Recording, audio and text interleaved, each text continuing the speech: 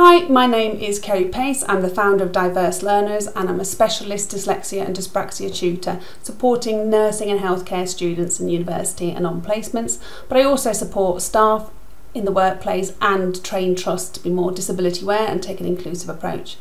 Today we're going to be talking about mobile devices in healthcare settings and uh, taking an inclusive approach which will then naturally incorporate reasonable adjustments for those who have disabilities and it's also part of a set of videos that also look at um, placement, metacognitive learning, technology and placement. So make sure that you watch the technology and placement one as well because we'll be referring to a number of things discussed in that video that are talked about in this one too.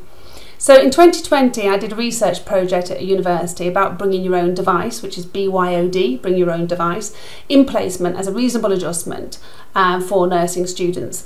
And it was to help them access their Skype, their Skype support, uh, which was the one-to-one specialist support funded by the DSA, the Disabled Students Allowances, um, and using Skype in placement to access that support. So they were all over um, the northeast uh, in different placements and they access me anywhere from 7 o'clock in the morning till 10 o'clock at night in order to um, prevent crisis on placement and also to facilitate their learning in a more independent way. So mobile devices are quite uh, therefore quite established in some ways in healthcare settings but there's still a lot of stigma and a lot of misinformation out there so hopefully this video will address some of those. So NHSX is the new um, organisation set up to actually look at transforming the way we use technology in healthcare. And also the RCN have a campaign called Every Nurse and E-Nurse. Uh, so things are definitely moving and there's a much more of a push factor from the organisations and from the um, board of directors and things like that to incorporate technology.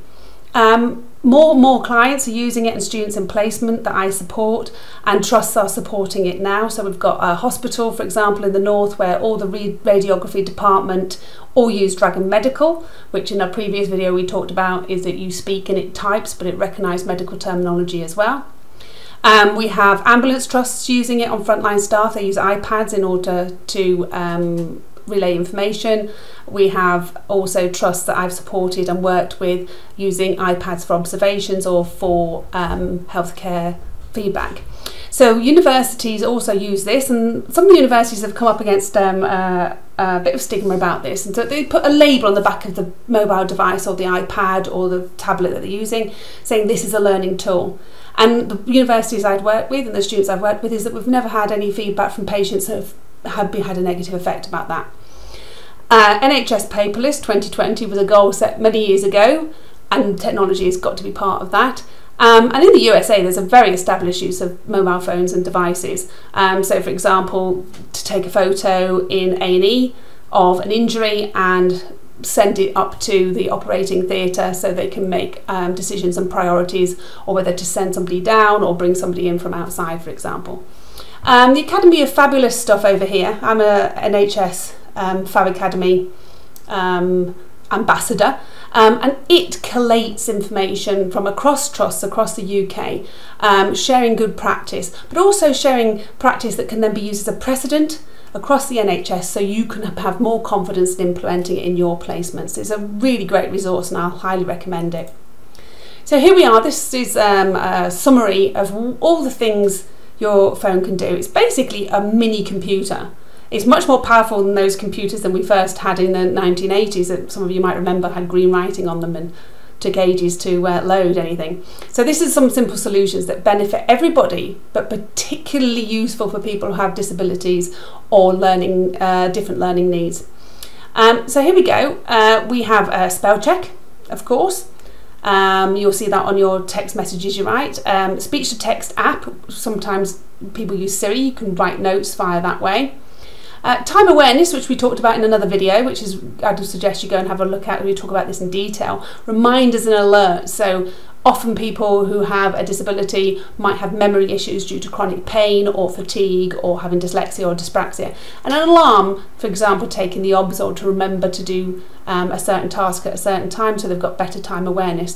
But also really useful for all of us in busy wards and busy placement environments in the community as well as uh, in hospital trusts where we're very understaffed and very distracted because we've got so much on our plates. And the next one here, planning and prioritising, Mind Map app. We talk about mind maps in detail on that technology and placement video I talked about uh, earlier, but a really useful way of collating a lot of information and organising it very quickly.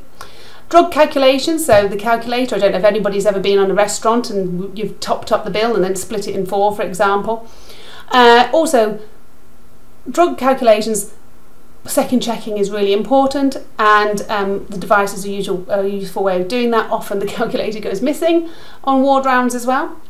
A camera is great for memory so you can take photos of the sluice for example or the linen cupboard or I've done it for students with uh, A&E where there's all the uh, letters and numbers on the drawers of where particular equipment lives. I've also done it for OD operating uh, department practice uh, students and clients who have taken pictures of this various switches and also of the tray and how it's laid out and then we've done a lot of multi-sensory learning on how to learn that. Um, as long as no uh, confidential information is on that and it's stored in your phone which has a password is a secure environment. Uh, text-to-speech app which is uh, also really good for reading so it will read information to you and documents to you um, uh, really useful on the go, so you can listen to that on the go as well. Coach's Eye app video is great for overlearning, so how did you do something, how did you transfer that information, and you can annotate it. So you can add notes, you can add stick-it notes, you can point arrows at it, and so really good for physios and occupational health as well as other um, practitioners too. The notes in the glossary is really useful for remembering abbreviations or do I need to look up a particular paper or do I need to be more knowledgeable about this? Fitting in with the code of conduct as a lifelong learner. Notes on the glossary is really useful and lots of people are familiar with that one. And of Medications is the BNF app and we'll be talking about that a bit later. You know, trying to find that book on a ward, the tiny thin pages the fact that they're very fragile and difficult to use. Um, the BNF app is also a much more up-to-date version than the book would be because as soon as the book is printed is often out of date. And also you can use this with people who have got hear, uh, hearing aid, you can switch it to the T position and make it um, a personal loop as well. So lots and lots of benefits, not only for staff, but for patients there too. So here we are, assistive technology and reasonable adjustments via apps. So a lot of this technology we talked about in the video on technology and placement, but also I'm just showing you the same idea of all the apps that can be downloaded to do all those tasks we've just discussed. So reading, here we have Claro with the multiple languages and Read Write Gold. Um, the camera a memory aid, task management, so reminders, this is from anybody who's got an iPhone or an iPad, you have these task management and his Wunderlist, for example, um, and another app there that um, helps you uh, send you alerts for reminders and you can colour code them and sort them. Medications, the BNF app for children as well as for um, adults, completely the most up-to-date way of doing it and really quick and easy. Recording meetings, which we talked about, Note Talker and Audio Sonocent. Again, you don't need to necessarily need to bring your laptop in. You can do it on your phone because there's an app, or you can do it on a uh, an iPad or a tablet because there's an app. Nursing skills, which we talked about, Coach's Eye. So again, really good in simulations in um, um, in university as well. So you can rec record the ideal way to do this. Really useful for OSCEs as well.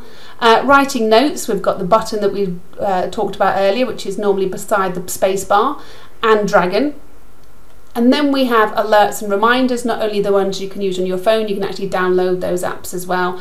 And finally, mind mapping software up here, which is Inspiration and iThoughts and they're both available as apps and will actually be able to send anything that you do on your phone or your device to your computer version as well. So that way you have that continuity and that consistency. So a very, very easy, reasonable adjustment and a way of getting assistive technology into the hands of the person who may need it. So my name is Kerry Pace from Diverse Learners and I produce this video in collaboration with the University of Plymouth and you can contact me on kerry at diverselearners.co.uk.